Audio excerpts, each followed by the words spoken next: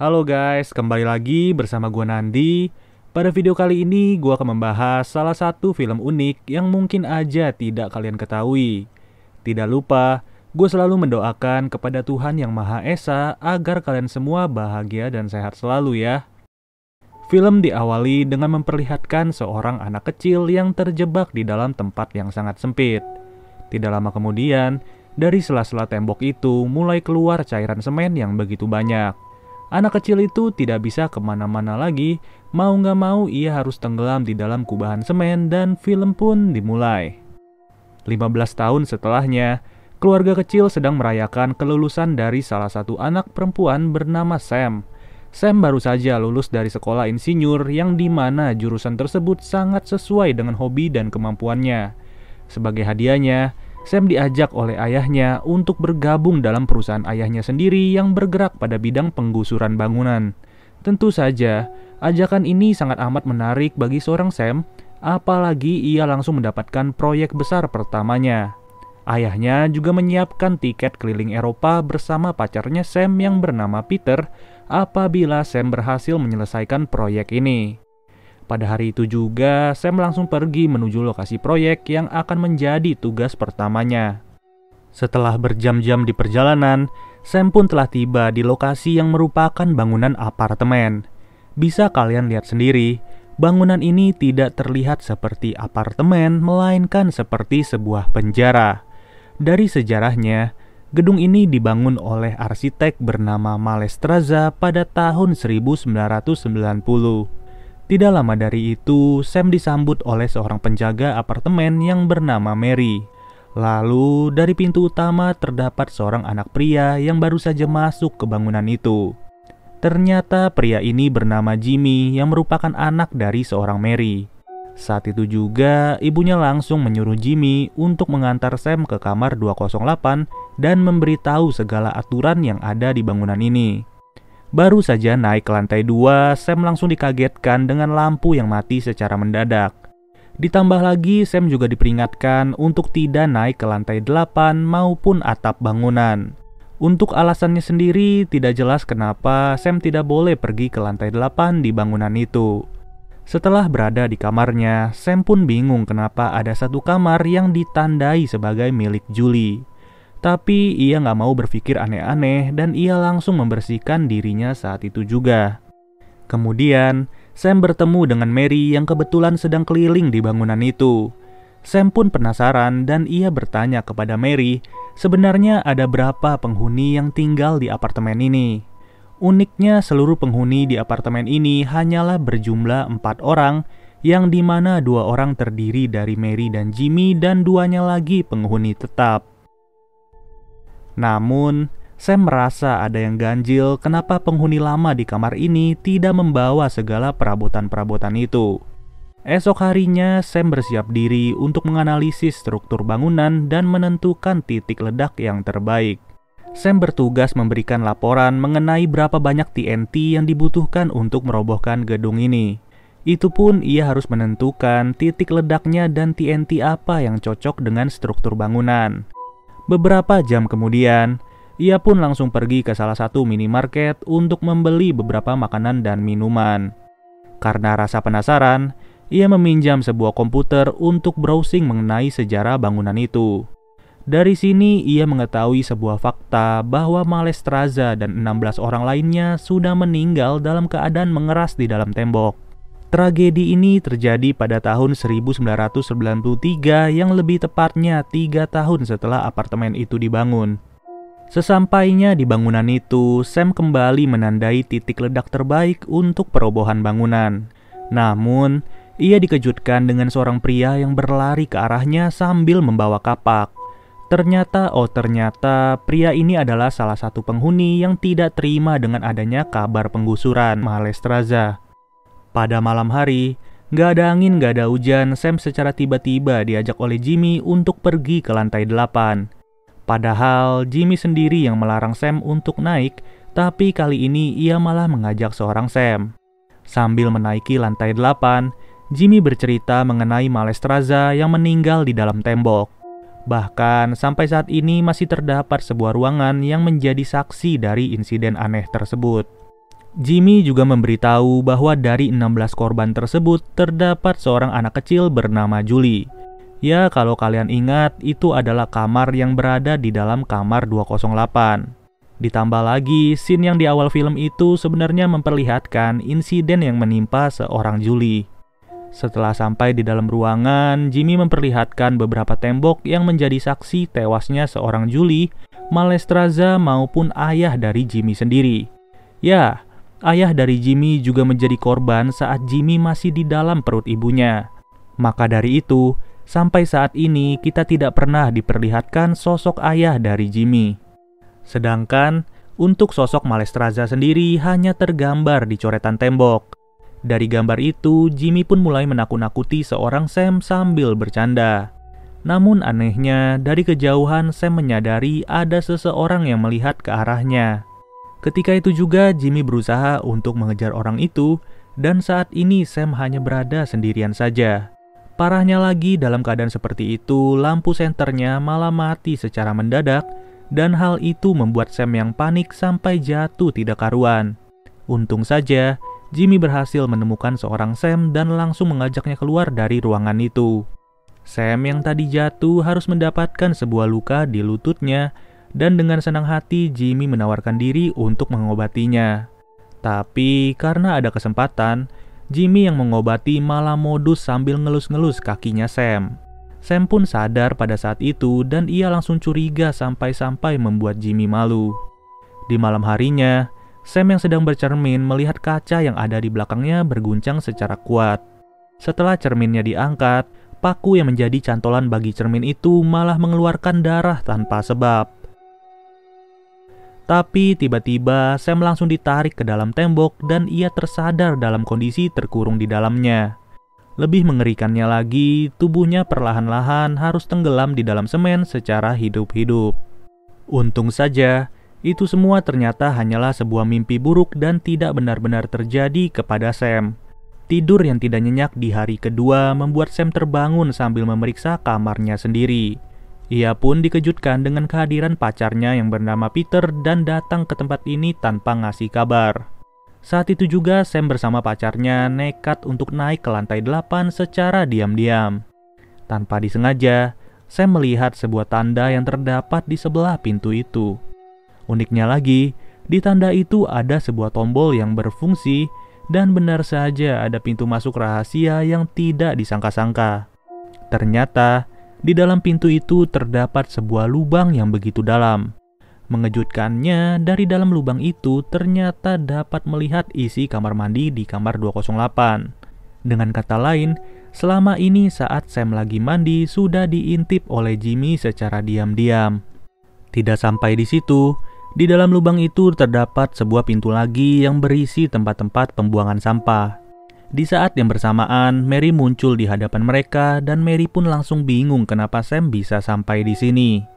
Setelah momen itu, Sam melaporkan semuanya kepada Mary bahwa Jimmy secara diam-diam sudah mengawasinya di dalam kamar mandi. Ya, ujung-ujungnya Jimmy kena oce sama ibunya dan ia langsung kabur dari hadapan mereka. Tapi walaupun sudah melapor, Sam masih tidak menyangka kalau Jimmy bisa secabul itu. Lalu, Peter yang berada di sana merayu Sam untuk melupakan semuanya dan ia mengajak Sam untuk pulang pada besok pagi. Tapi sebelum itu udah jelas banget mereka pengen nempel-nempel sebelum pulang besok pagi. Di sisi lain, Jimmy yang berada di depan kamarnya Sam hanya bisa mendengar kemesraan mereka sambil bersedih. Pada esok harinya, Sam menyiapkan seluruh pakaiannya untuk pergi pada saat itu juga. Laporan dari analisisnya juga sudah disiapkan dan akan diberikan kepada ayahnya Sam, yang di mana dalam meruntuhkan bangunan ini kurang lebih membutuhkan 600 kg TNT. Sebelum berpisah, Jimmy menyempatkan dirinya untuk minta maaf dan memberikan sebuah kado kepada Sam. Ternyata kado itu adalah sebuah buku yang diambil oleh Jimmy dari kamar si nenek tua. Buku itu sendiri merupakan buku asli tulisan tangan Malestraza yang mencangkup struktur bangunan secara utuh. Mendengar hal itu, saya menjadi antusias dan mencari tahu mengenai penjelasan dari buku itu. Kemudian, ia dan Peter pun diajak oleh Jimmy untuk mencari tahu di ruangan lantai 8. Tapi Jimmy sudah tidak ada lagi dan yang terdengar hanyalah teriakan minta tolong. Ternyata masih ada ruangan lain di lantai 8 yang menuju ke sebuah lubang besar. Ketika itu juga, Sam berniat turun ke lubang itu untuk menolong Jimmy yang terjatuh. Sedangkan Peter berjaga di bagian atas sambil mengulurkan tali katrolnya. Pada awalnya semua berjalan secara lancar tanpa kendala sama sekali. Namun tiba-tiba ada sebuah besi tajam yang ditembakkan ke arah Peter secara otomatis. Alhasil Peter harus tewas berdarah-darah di depan mata pacarnya sendiri. Hal itu juga membuat tali katrol tidak tertahan lagi dan mau gak mau Sam harus jatuh dari ketinggian. Beberapa saat setelah itu, Sam terbangun dalam keadaan tidak mengenakan baju di dalam lubang. Anehnya, ia tidak sendirian berada di sana, melainkan ada seorang pria misterius. Betapa mengejutkannya bahwa Malestraza masih hidup dan terkurung di lubang apartemen ini. Ia pun memegang sebuah radio yang di mana dalam rekaman tersebut terdapat suara Jimmy lagi minta tolong. Dengan kata lain, suara yang didengar oleh Sam tadi adalah suara yang dibuat-buat alias bohong. Benar saja, dari atas lubang itu ada Jimmy yang sengaja melemparkan sebuah surat. Di dalam surat itu tertulis bahwa Jimmy tidak membiarkan Sam pergi dari apartemen ini. Dengan tujuan, Jimmy ingin agar Sam belajar bagaimana cara mencintai seorang Jimmy tanpa paksaan sedikit pun. Saking naksirnya, Jimmy secara diam-diam mengirimkan laporan kerja milik Sam ke perusahaan ayahnya sendiri. Bahkan ia juga sengaja menceburkan mobil Sam ke dalam sebuah danau. Semua ini dilakukan oleh Jimmy agar membuat persepsi seolah-olah Sam tidak pulang karena pergi berlibur bersama Peter. Kini, di dalam lubang itu, Sam hanya bisa memperhatikan gerak-gerik Malestraza. Gak lama dari itu, Jimmy muncul dari atas lubang dan memberikan sebuah kaset kepada arsitek itu.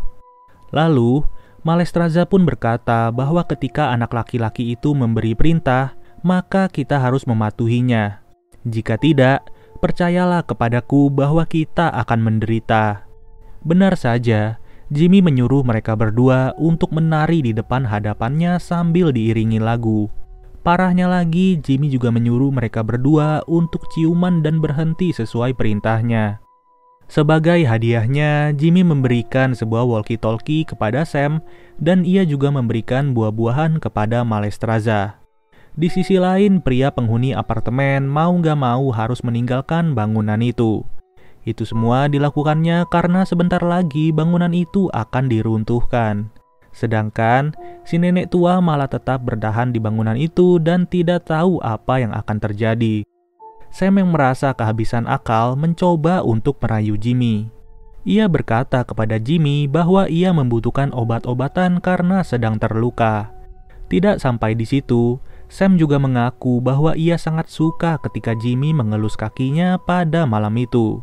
Bahkan, Sam juga sengaja membuka bajunya di depan mata Jimmy untuk membuat dirinya terkena rayuan. Namun, hal itu ternyata sia-sia dan sampai sekarang ini Sam tidak mendapatkan pertolongan. Malahan hujan yang mengguyur tanah di lubang itu membuat Sam terkejut tanpa diduga. Ternyata jasad pacarnya secara diam-diam dikubur oleh Malestraza di tanah itu. Ya, udah jelas itu semua dilakukannya atas perintah dari seorang Jimmy. Beberapa jam setelah itu, Malestraza bercerita kepada Sam bahwa ia sudah terkurung di sini selama 5106 hari.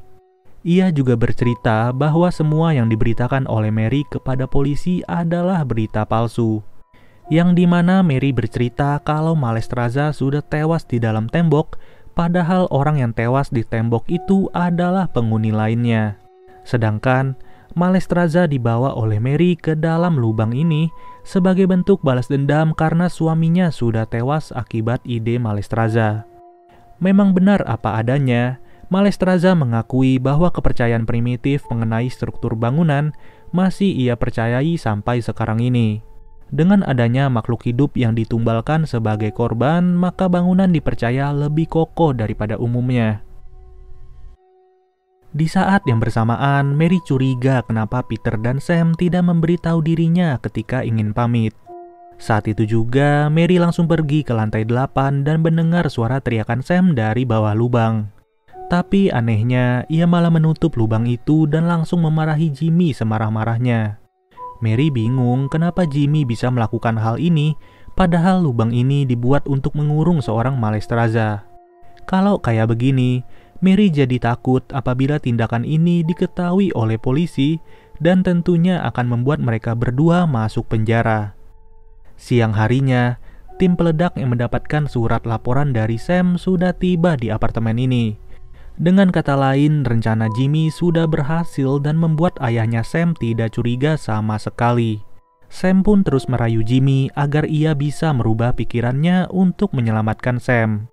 Sam juga berkata, "Bagaimana mungkin aku bisa belajar mencintaimu apabila diriku sendiri sudah tidak ada lagi di dunia ini?" Sedangkan Malestraza tidak memberikan izin kepada Sam untuk kabur dari lubang ini. Ia pun langsung mengikat tangan Sam di lubang itu sambil menggali sebuah kuburan yang ia rancang sendiri. Kuburan itu sengaja dirancang oleh Malestraza dengan beberapa aliran pipa yang terhubung dengan tangki semen. Malestraza percaya, di saat tim peledak mencoba untuk meruntuhkan bangunan ini, bangunan ini tidak akan hancur apabila ada makhluk tambahan yang dikubur secara hidup-hidup.